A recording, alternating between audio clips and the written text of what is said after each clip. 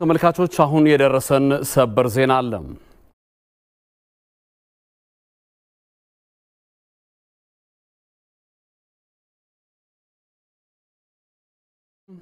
ለተሻለ ፖለቲካዊ ምህዳር ሲባል የተወሰኑ እስረኞችን መንግስት ዛሬ በምህረት በእስር እንዲፈቱ ተወስኗል።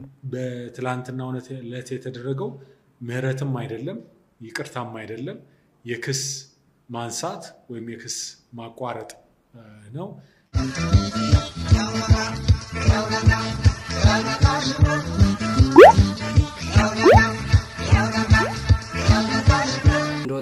ከእስር በምህረት እንዲፈቱ የተወሰነላቸው አንደኛ አቶ ስብሐት ነጋ፣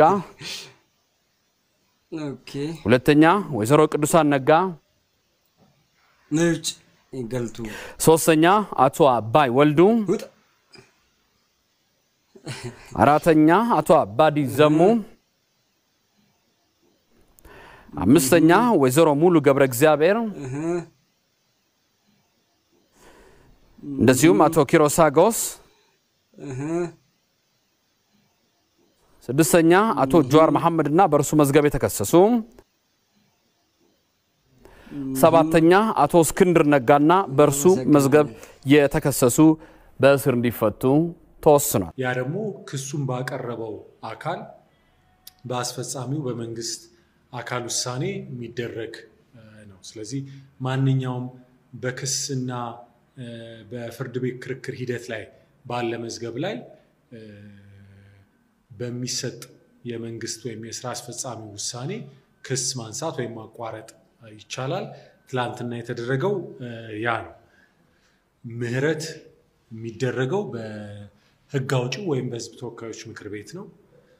ይቅርታ ደግሞ የይቅርታ ቦርድ አለ። በይቅርታ ቦርድ ምክረ ሀሳብ መሰረት የሀገሪቱ ርዕሰ ብሔር ወይም ፕሬዚደንት የሚሰጡት ነው። ስለዚህ በነ ዶክተር ደብረጽዮን መዝገብ ላይ ካሉ በዛ ካሉ ተከሳሾች ከዛ ውስጥ ጥቂቱ የስድስት የሚሆኑት ግለሰቦች ክስ ተነስቷል። የእነሱ ደግሞ በዋነኝነት እንዲነሳ የተደረገው ከፍተኛ የሆነ የጤና እክል ችግር ያለባቸው በእድሜያቸውም ገፋ ያሉ ሰዎችን በመለየት ይበልጥ ከሰብአዊነት አንጻር የእነሱ ክስ ለጊዜው እንዲቋረጥ ተደርጎ መንግስት ይህን ውሳኔ የወሰነው በዋናነት ኢትዮጵያ እንድታሸንፍ ነው።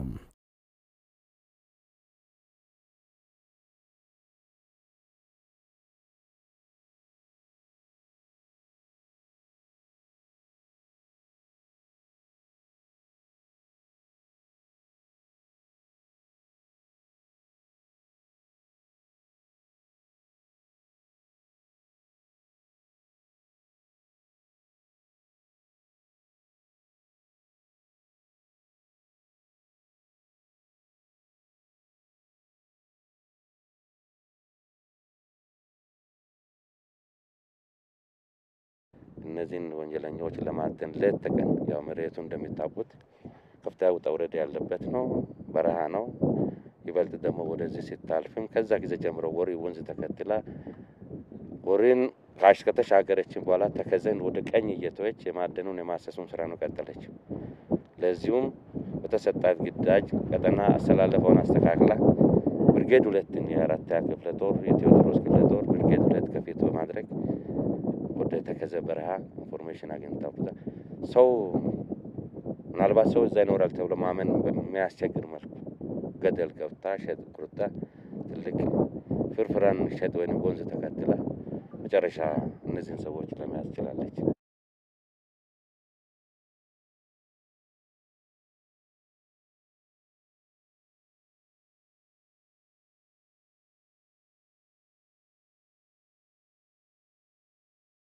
በመሰረቱ አንድ ነገር መረዳት ያለብን ነገር ግን completely ህዝቡ ከጁንታው ጋር እንዳልነበር ግን የሚያሳይ ሀቅ ህዝቡ በጣም መሮታል።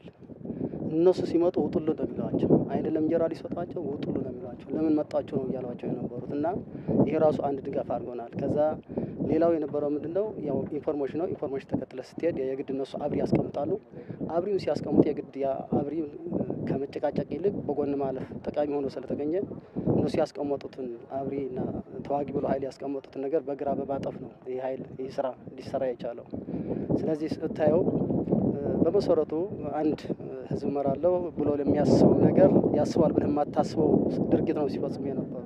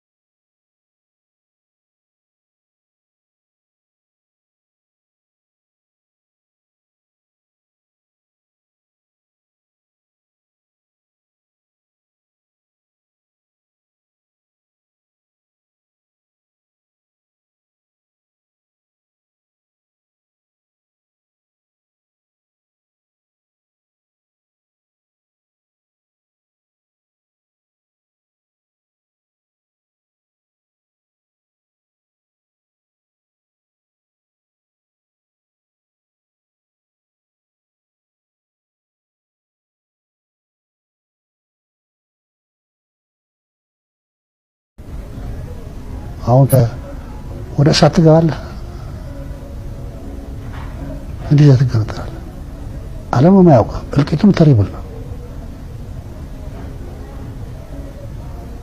እልቂትን የሚፈልግ የለም። normally ታዲያ አሁን እንዴት ትገነጠላለህ? አሁን ይህንን የሚያራምዱ ሰዎች የሚሉት ምንድን ነው? ከዚህ በኋላ ኢትዮጵያ ላይ የሚኖረን የ decision making role የለም፣ አስረክበናል።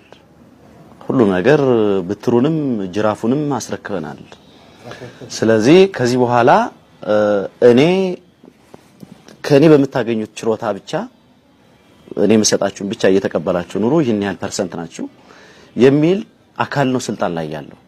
ይሄ ደግሞ necessarily እኛ ካለን ታሪክ የስልጣኔ በኢትዮጵያ ምስረታ ሂደት ውስጥ ከነበረን role አንጻር ስለማይገባን አንገታችንን ደፍተን ያንን መቀበል ብቻ ነው ያለን አማራጭ። ይሄ ደግሞ ሊሆን አይችልም፣ ራሳችንን መሆን አለብን የሚል ነገር ነው። ሶስት ብረት ይዘን እኮ አብረን ለመኖር ነው የተዋጋ ነው።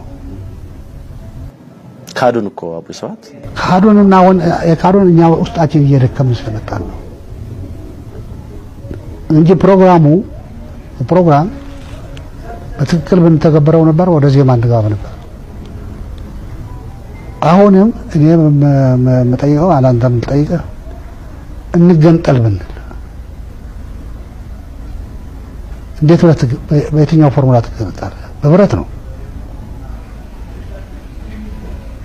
ህገ መንግስት ከሌለ ማለት ያውቃል።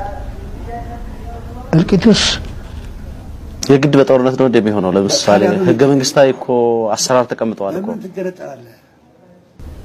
ህገ መንግስታዊ መብት ህገ መንግስት ወደ ቦታው ይምጣ። ህገ መንግስት ወደ ቦታው እንመልሰው። የለም እኮ አሁን ስለዚህ ህገ መንግስት ወደ ቦታው ባልተመለሰበት ሁኔታ እንደዚህ አይነት ጥያቄ በኃይል ነው ዞሮ ዞሮ የምናደርገው፣ እልቂት ያመጣል ነው። መቶ አራት አንብበው መቶ አምስት አንብበው። በዚህ መንገድ ህገ መንግስት ይሻላል። የመገንጠሉ procedure ም እዚህ አለ። ላይ 39